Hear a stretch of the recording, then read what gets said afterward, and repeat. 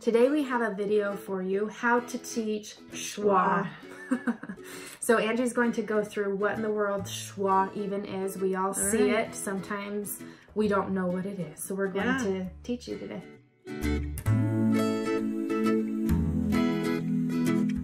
Schwa. Schwa is spelled like that.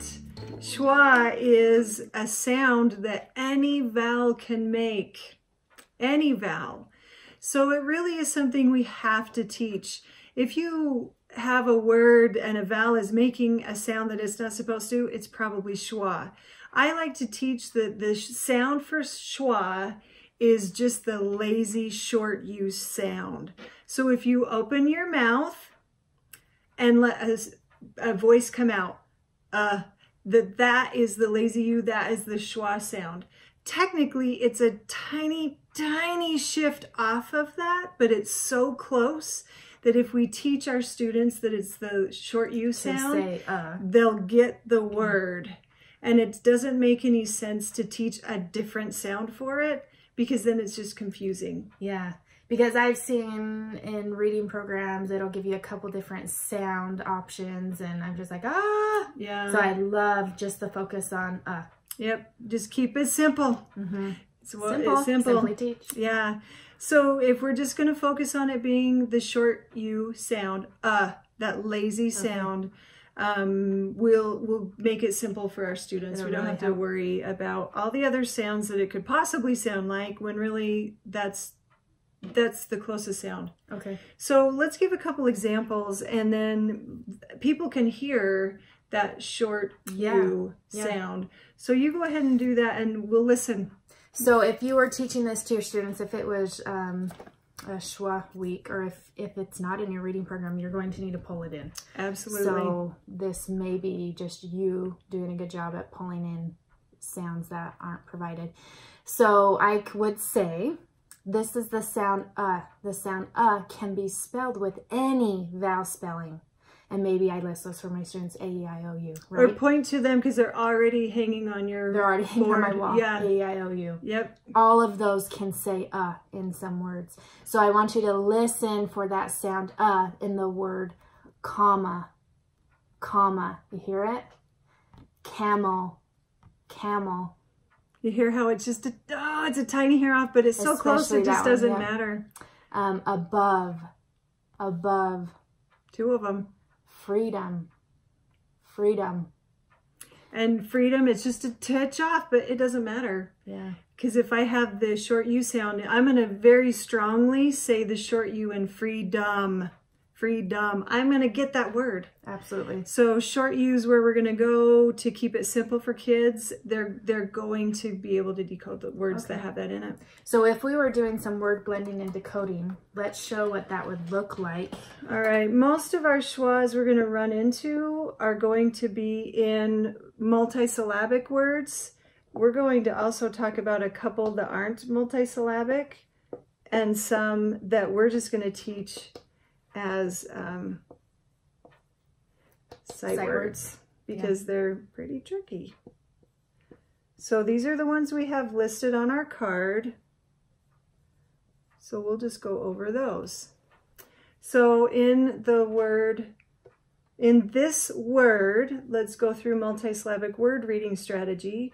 We don't see any, or do we see any I prefixes? don't see any prefixes or suffixes. All right, so let's look for vowels. All right, I see an O and an A. So I'll try ah, and I'm going to try ah. All right, let's blend. So comma, comma does not make sense to me. All right. So I'm going to leave the ah. I'm going to change the, I'm going to try long vowel because nothing's coming to me. So okay.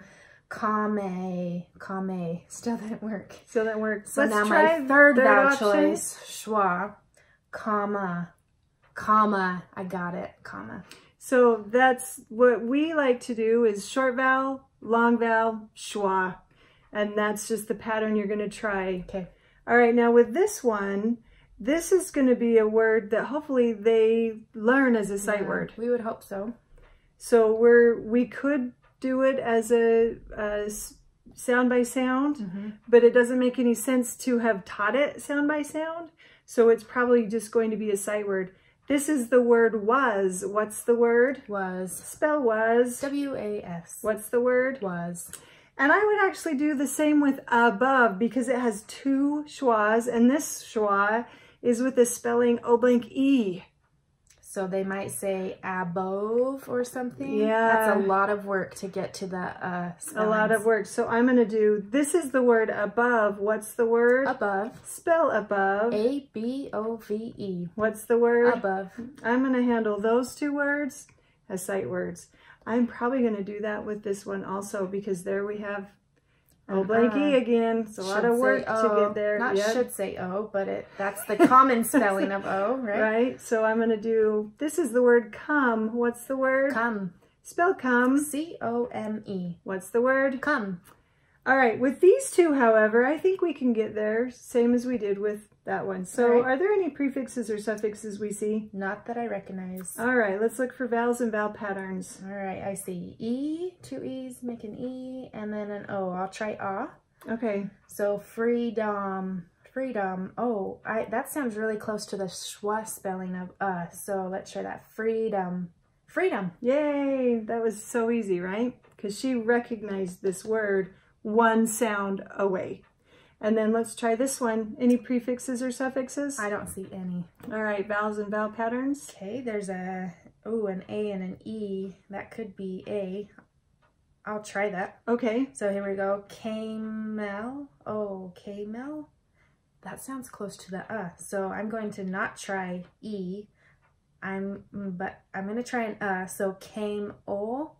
It's not working. Not that working. A isn't working. So Okay. I'm going to do the short A sound. okay, Camel. Camel. Oh, there we go. okay. So we're teaching our students to be flexible, try different sounds for those vowels, including the schwa. And if you teach them well those rules of short vowel, long vowel, schwa, they do it. I'm a second grade teacher and my students do that. They get in the habit because I've instructed them short vowel, long vowel, schwa.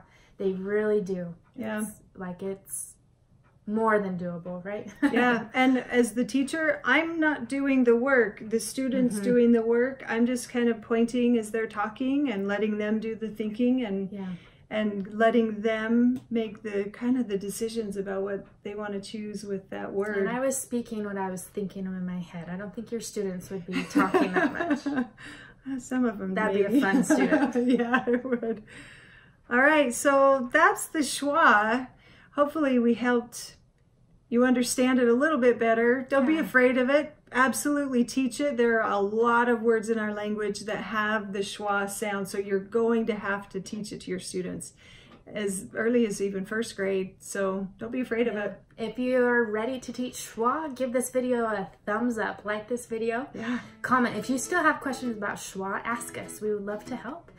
And thank you for watching this video. Make sure you watched our why and what sound spelling videos and our other sound spelling focus videos. We have a lot and lots more coming. So thank you for watching. We're the Simple Teachers. Simply, teach. teach thank you